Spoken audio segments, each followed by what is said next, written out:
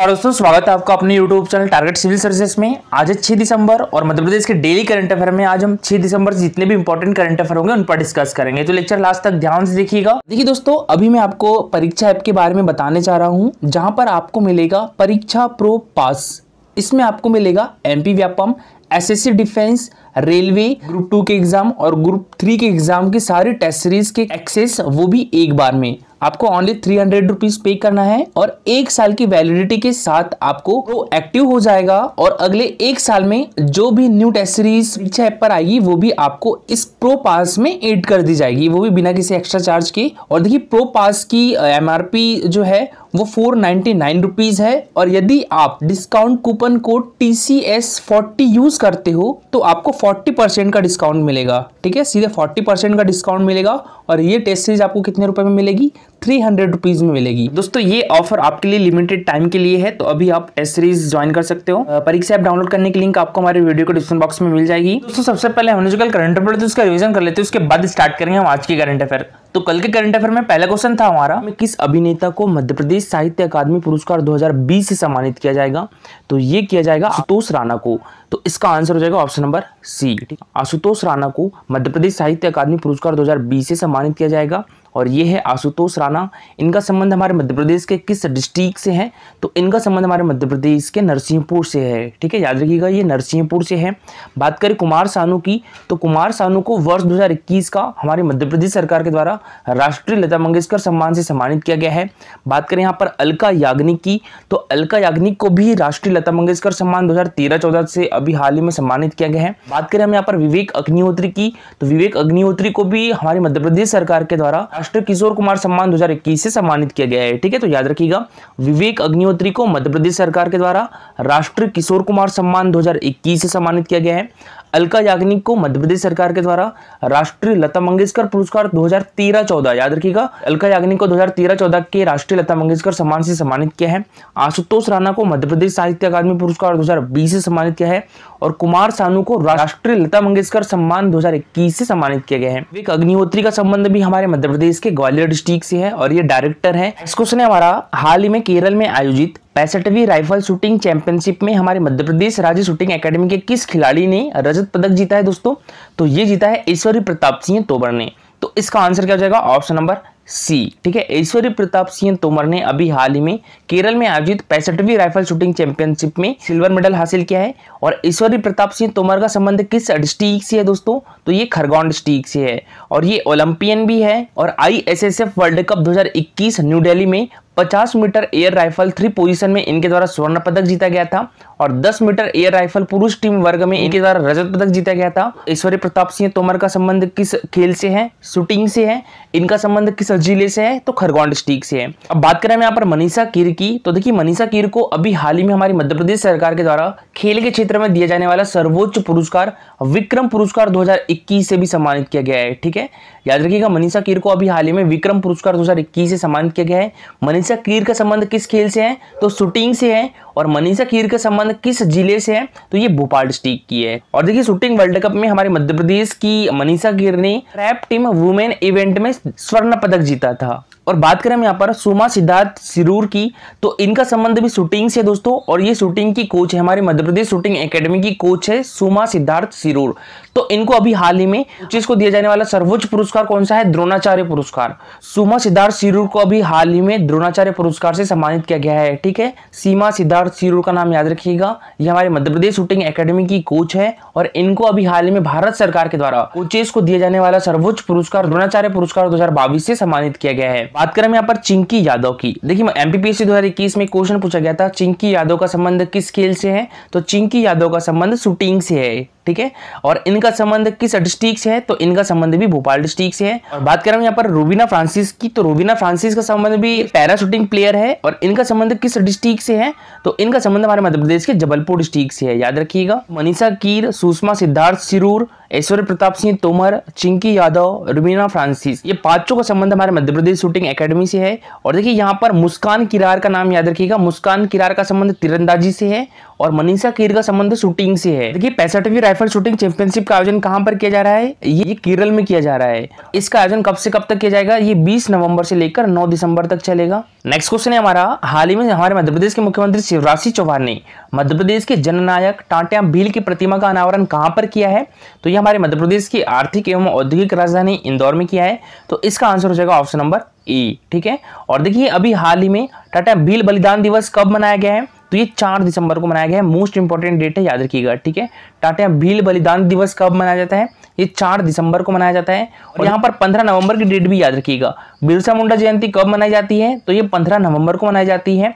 पंद्रह नवंबर को हमारे मध्य प्रदेश में पेसा एक्ट भी लागू किया गया है ठीक है? तो पेसा एक्ट हमारे मध्य प्रदेश में कब लागू किया गया था? ये पंद्रह नवंबर को किया गया था। किसकी जयंती पर? बिरसा मुंडा की जयंती पर। और अभी हाल ही में चार दिसंबर को। किसका बलिदान दिवस मनाया गया है? तो टाटा भील मामा का बलिदान दिवस मनाया गया है। हमारे क्वेश्चन है हमारा मध्य प्रदेश के एक जिला एक उत्पाद में नीमच ज़िले की पहचान कौन सा उत्पाद बना है? तो ये धनिया बना है। तो इसका आंसर क्या जाएगा? ऑप्शन नंबर बी ठीक है? धनिया अभी हाल ही में हमारे मध्य प्रदेश के एक जिला एक उत्पाद में नीमच ज़िले की पहचान बना है। और यहाँ बात करें हम टमाटर की तो मध्य प्रदेश के एक जिला एक उत्पाद में सत्तना ज़िले की पहचान बना है टमाटर। और बात करें चना की तो एक जिला एक उत्पाद में दमोह डिस्ट्रिक्ट का उत्पाद किसे चयनित किया गया है? तो ये चना को किया गया है। और कोदो कुटके के लिए यहाँ पर चार जिलों का नाम याद रखिएगा। कौन कौन से? एक, एक तो डिंडोरी एक अनूपपुर एक मंडला और एक सिंगरौली ठीक है? तो कोदो कुटकी के लिए चार जिलों का नाम याद रखिएगा। डिंडोरी अनूपपुर, मंडला और सिंगरौली। ठीक है, आप इसको याद कैसे कर सकते हो? Dams. D A M S ठीक है, डैम्स। इन जिलों का उत्पाद कौन सा है? तो कोदोकुट की है। डेम से याद रखिएगा। डी से डिंडोरी ए से अनूपपुर एम से मंडला और एस से सिंगरौली। और चना का कैसे याद रखोगे? दम। ठीक है? दमो याद रखिएगा। धनिया। देखिए, धनिया किसमें डालते हैं? सभी सब्जियों में धनिया डाला जाता है। और नीम की पत्ती भी डाली जाती है। ठीक है? तो नीम से नीमच याद रखिएगा और धनिया। नीम की पत्ती और धनिया साथ में डालेंगे तो धनिया से क्या हो जाएगा? नीमच हो जाएगा। टमाटर कैसे याद रखोगे आप? देखिए टमाटर जो है, शत प्रतिशत लोग खाते हैं हमारे देश में। टमाटर शत प्रतिशत लोग खाते हैं। तो सतना याद रखिएगा, ठीक है? सभी लोग टमाटर खाते हैं। तो अब स्टार्ट करते हैं। आज की करंट अफेयर तो आज की करंट अफेयर में पहला क्वेश्चन है हमारा, हाल ही में थाईलैंड में आयोजित एशियन रोइंग चैंपियनशिप में मध्य प्रदेश रोइंग एकेडमी के प्रभाकर राजावत ने अंडर 19 मेन सिंगल स्कल्स की 2000 मीटर स्पर्धा में कौन सा पदक जीता है? तो इनके द्वारा स्वर्ण पदक जीता गया है। तो इसका आंसर हो जाएगा ऑप्शन नंबर ए ठीक है? स्वर्ण पदक। और ये है प्रभाकर राजावत। इनका संबंध हमारे मध्य प्रदेश के किस डिस्ट्रिक्ट से है? तो भिंड डिस्ट्रिक्ट से है। तो देखिए, अभी हाल ही में एशियन रोइंग चैंपियनशिप का आयोजन कहाँ पर किया गया था? तो ये थाईलैंड में किया गया था और यहाँ पर हमारे मध्य प्रदेश रोइंग एकेडमी के प्रभाकर राजावत ने अंडर 19 मेन सिंगल स्कल्स की 2000 मीटर स्पर्धा में, याद रखिएगा 2000 मीटर स्पर्धा में स्वर्ण पदक जीता है। नेक्स्ट क्वेश्चन है हमारा। देखिए दोस्तों, अभी हाल ही में पाँच दिसंबर से लेकर ग्यारह दिसंबर दो हज़ार बाईस तक आठवां खजुराहो अंतर्राष्ट्रीय फ़िल्म फेस्टिवल का आयोजन कहाँ पर किया जा रहा है? तो ये खजुराहो में किया जा रहा है। तो इसका शुभारंभ किसके द्वारा किया गया है? तो ये किया गया है धीरेन्द्र कृष्ण शास्त्री जी के द्वारा। तो इसका आंसर हो जाएगा ऑप्शन नंबर बी ठीक है, धीरेन्द्र कृष्ण शास्त्री। धीरेन्द्र कृष्ण शास्त्री बागेश्वर धाम, जो कि छतरपुर डिस्ट्रिक्ट में है, वहाँ के संत है। शिवराज चौहान हमारे मध्य प्रदेश के मुख्यमंत्री है। ओषा ठाकुर हमारे मध्य प्रदेश की संस्कृति मंत्री है। और गोविंदा जो है हमारे मध्य प्रदेश के ब्रांड एम्बेसडर है। और देखिए जो 2021 का खजुराहो अंतर्राष्ट्रीय फ़िल्म फेस्टिवल का आयोजन किया गया था तो इसमें लाइफ टाइम अचीवमेंट पुरस्कार से गोविंदा को सम्मानित किया गया था। अब बात करें हम यहाँ पर खजुराहो की तो खजुराहो हमारे मध्य प्रदेश के किस डिस्ट्रिक्ट में है? छतरपुर डिस्ट्रिक्ट में है, ठीक है? खजुराहो हमारे मध्य प्रदेश के छतरपुर डिस्ट्रिक्ट में है और इसको यूनेस्को द्वारा विश्व धरोहर स्थल की सूची में कब शामिल किया गया था? तो ये 1986 में शामिल किया गया था और 1989 में सांची को शामिल किया गया था और 2003 में यूनेस्को द्वारा विश्व धरोहर स्थल की सूची में हमारे मध्य प्रदेश की भीम बेटिका की गुफाओं को शामिल किया गया था। एक बार हमारे मध्य प्रदेश में प्रमुख उत्सव के बारे में बता रहा हूँ, ध्यान से सुनेगा। खजुराहो अंतर्राष्ट्रीय फ़िल्म फेस्टिवल का आयोजन कहाँ पर किया जाता है? तो ये खजुराहो में किया जाता है, ठीक है? खजुराहो हमारे मध्य प्रदेश के छतरपुर डिस्ट्रिक्ट में है। महाबोधि महोत्सव का आयोजन कहाँ पर किया जाता है? तो ये सांची में किया जाता है। निर्जनी महोत्सव का आयोजन अलीराजपुर डिस्ट्रिक्ट में किया जाता है। निर्जनी महोत्सव का आयोजन अलीराजपुर डिस्ट्रिक्ट में और मांडू महोत्सव का आयोजन कहाँ पर किया जाता है? तो ये हमारे मध्य प्रदेश के धार डिस्ट्रिक्ट में। तानसेन समारोह का आयोजन कहाँ पर किया जाता है? तो ये ग्वालियर डिस्ट्रिक्ट में किया जाता है। और जल महोत्सव का आयोजन कहाँ पर किया जा रहा है अभी हाल ही में? तो ये हनुवंतिया टापू में। हनुवंतिया टापू कहाँ पर है? हमारे मध्य प्रदेश के खनवा डिस्ट्रिक्ट में है। अंतर्राष्ट्रीय वन मेले का आयोजन कहाँ पर किया गया था? तो ये भोपाल डिस्ट्रिक्ट में किया गया था और विज्ञान मेले का आयोजन भी कहाँ पर किया गया था? तो ये भोपाल में ही किया गया था, ठीक है? विज्ञान मेला और अंतर्राष्ट्रीय वन मेला का आयोजन कहाँ पर किया गया था?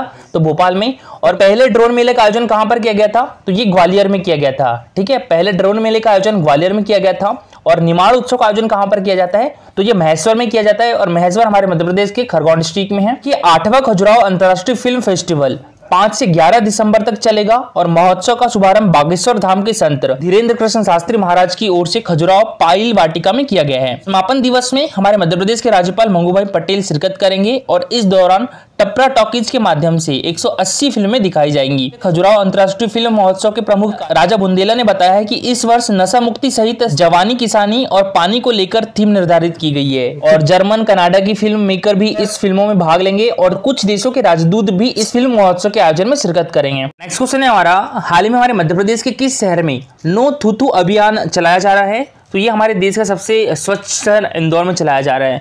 तो इसका आंसर हो जाएगा ऑप्शन नंबर ए, ठीक है? इंदौर। इसका शुभारंभ किसने किया है? तो इंदौर के महापौर पुष्यमित्र भार्गव ने इसका शुभारंभ किया है।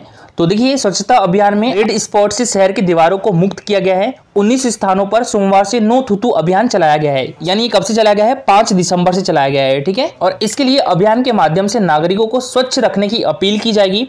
महापौर पुष्यमित्र भार्गव ने नो थुतु अभियान का शुभारंभ किया है। नेक्स्ट क्वेश्चन है हमारा। नेशनल इन्वेस्टिगेशन एजेंसी यानी NIA का थाना मध्य प्रदेश के किस शहर में खुलेगा? तो ये हमारे मध्य प्रदेश की राजधानी भोपाल में खुलेगा। तो इसका आंसर हो जाएगा ऑप्शन नंबर बी और ये एनआईए का कौन सा थाना होगा? तो ये तीरवा थाना होगा, ठीक है? अभी तक हमारे देश में एनआईए के बारह थाने खुल चुके हैं और भोपाल में ये तीरवा थाना होगा। और बात करें हम एनआईए की तो इसकी फुल फॉर्म क्या होती है? नेशनल इन्वेस्टिगेशन एजेंसी इसकी स्थापना 2009 में की गई थी और इसके अभी डायरेक्टर जनरल कौन है? दिनकर गुप्ता है। और ये किस मिनिस्ट्री के अंडर में आती है? तो होम मिनिस्ट्री के अंडर में आती है। ये इंपॉर्टेंट पॉइंट है, याद रखिएगा, ठीक है? किस मिनिस्ट्री के अंडर में है ये? होम मिनिस्ट्री के। होम मिनिस्टर कौन है हमारे देश के? अमित शाह है। और हमारे मध्य प्रदेश के होम मिनिस्टर कौन है? नरोत्तम मिश्रा है। एनआईए का हेडक्वार्टर कहाँ पर है? तो ये हमारे देश की राजधानी न्यू डेली में है। तो देखिए, मध्य प्रदेश में आतंकी संगठनों और आतंकियों के मामले में अब सीधे कार्रवाई के लिए एनआईए रहेगी। इसे रोकने के लिए अब नेशनल इन्वेस्टिगेशन एजेंसी अपना दफ्तर भोपाल में खोल रही है। नेक्स्ट क्वेश्चन दोस्तों हमारा। देखिए, दक्षिण अफ्रीका में आयोजित अंडर 19 महिला वर्ल्ड कप खेलने वाली भोपाल की पहली महिला क्रिकेटर कौन होगी? तो ये सौम्या तिवारी। तो इसका आंसर हो जाएगा ऑप्शन नंबर बी ठीक है? सौम्या तिवारी दोस्तों, दक्षिण अफ्रीका में आयोजित होने वाला है अंडर नाइनटीन महिला वर्ल्ड कप तो इसमें खेलने वाली भोपाल की पहली महिला क्रिकेटर होगी। पूजा वस्त्रकार का नाम याद रखिएगा। इनका संबंध भी हमारे मध्य प्रदेश से है और ये भी भारतीय महिला क्रिकेट टीम का प्रतिनिधित्व करती है। पूजा वस्त्रकार का संबंध किस ज़िले से है? तो शहडोल डिस्ट्रिक्ट से है। कि अभी हाल ही में महिला टी ट्वेंटी वर्ल्ड कप का आयोजन कहाँ पर किया गया था? तो ये न्यूजीलैंड में किया गया था। यहाँ पर जीता कौन था? ऑस्ट्रेलिया जीती थी। रनर अप कौन रही थी? इंग्लैंड रही थी, ठीक है? तो यहाँ पर पूजा वस्त्रकार ने पूरे टूर्नामेंट में सबसे लंबा चक्का लगाया था। संध्या अग्रवाल का नाम भी याद रखिएगा। संध्या अग्रवाल भी हमारे मध्य प्रदेश से संबंधित है। कहाँ से है? ये इंदौर से है। और संध्या अग्रवाल भारतीय महिला क्रिकेट टीम की कैप्टन भी रह चुकी है। सुब्धा भोसले का नाम भी याद रखिएगा। सुब्धा भोसले का संबंध हमारे मध्य प्रदेश के झाबुआ डिस्ट्रिक्ट से है। और ये हमारे देश की सबसे युवा महिला एम्पायर बनी है। ठीक है सुब्धा भोसले, ये भी इंपॉर्टेंट है, याद रखिएगा। और देखिए दोस्तों, अभी आप सभी को पता होगा कि मध्य प्रदेश ने रणजी ट्रॉफी जीती है। किसे हराकर? मुंबई को हराकर। तो ये हमारे मध्य प्रदेश क्रिकेट टीम के कैप्टन कौन थे? आदित्य श्रीवास्तव थे। ठीक है, हमारे मध्य प्रदेश क्रिकेट टीम के कैप्टन कौन थे? आदित्य श्रीवास्तव थे। और कोच कौन थे? चंद्रकांत पंडित थे। तो ये मोस्ट इंपॉर्टेंट है, याद रखिएगा। कि दोस्तों, भोपाल की प्रतिभावान cricketer Saumya Tiwari under nineteen महिला वर्ल्ड कप के लिए चुनी गई है। वे क्रिकेट वर्ल्ड कप खेलने वाली भोपाल की पहली महिला क्रिकेटर होगी। भोपाल अंडर 19 वर्ल्ड कप में तीन पुरुष खिलाड़ी पहले ही खेल चुके हैं, जिनमें मोहनीश मिश्रा, जितेश अगल और राहुल बाथम है। सोमिया 14 जनवरी में साउथ अफ्रीका में खेले जाने वाले वर्ल्ड कप में हिस्सा लेगी और अंडर 19 महिला क्रिकेट इसी साल से शुरू हुआ है। यह पहला ही अंडर 19 महिला वर्ल्ड कप है। कल का हमारा क्वेश्चन था, विवेक सागर का संबंध किस खेल से है? तो इनका संबंध है हॉकी से। ये क्वेश्चन एमपीपीएससी 2021 प्री के एग्ज़ाम में पूछा गया था। ठीक है तो इसका आंसर हो जाएगा ऑप्शन नंबर ए हॉकी और इनका संबंध किस ज़िले से है? तो इनका संबंध नर्मदापुरम डिस्ट्रिक्ट से है। और देखिए अभी हाल ही में टोक्यो ओलंपिक का आयोजन कहाँ पर किया गया था? तो ये जापान में किया गया था। उन्होंने भारतीय हॉकी टीम का प्रतिनिधित्व भी किया था। और आज के लिए आपका क्वेश्चन है दोस्तों और ये क्वेश्चन एमपीपीएससी प्री में भी पूछा जा चुका है। और ये ही क्वेश्चन अभी हाल ही में जो रेडियो का एग्ज़ाम हुआ था उसमें भी पूछा गया था। मध्य प्रदेश में सबसे अधिक तापमान पाया जाता है। इंदौर में भोपाल में ग्वालियर में या शहडोल में। तो इसका आंसर सभी लोग दीजिएगा। कि दोस्तों ये है हमारा Telegram channel target civil services तो इस पर डेली ट्वेंटी क्वेश्चन के क्विजेस होते हैं तो इसमें आप भी पार्टिसिपेट कर सकते हो। टेलीग्राम चैनल के लिंक आपको हमारे वीडियो के डिस्क्रिप्शन बॉक्स में मिल जाएगी। दोस्तों, लेक्चर अच्छा लगा हो तो लाइक और शेयर ज़रूर करिएगा। अगर आप इस चैनल पर नए हो तो सब्सक्राइब भी कर लीजिए। Thank you so much for watching this video.